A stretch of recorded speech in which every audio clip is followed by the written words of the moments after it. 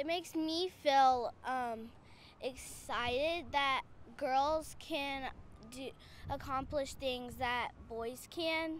Calling all girls. She got me.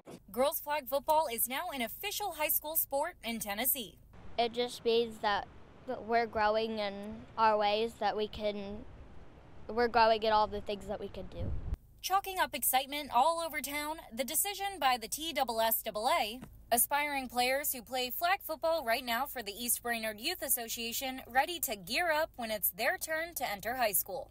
There is that tendency for boys to see boys playing the game and miss out on a girl that's playing the game that plays it just as well as they do. Tennessee Titans approached us a few years ago with a pilot program to start girls flag football. Emily Crowell with the TSSAA says Williamson County was the first to implement the program. In the 2022, Williamson County got started, and a lot of those girls have now been playing for a couple of years. She says those players wrote letters about how much this sport means to them.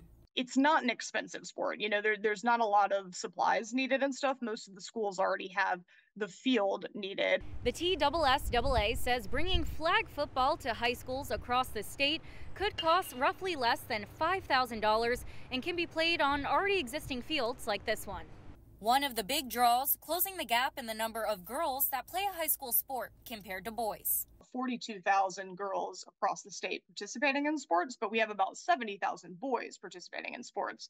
So I'm just excited that this is another opportunity to get more female athletes involved with their school.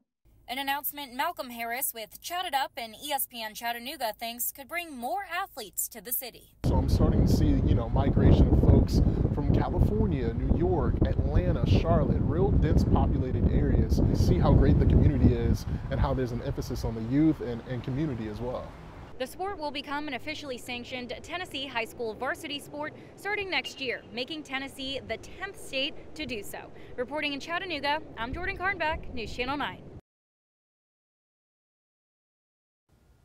We appreciate you making News Channel 9 your trusted source for local news. For more updates on this and other breaking news stories, be sure to hit that subscribe button and turn on notifications.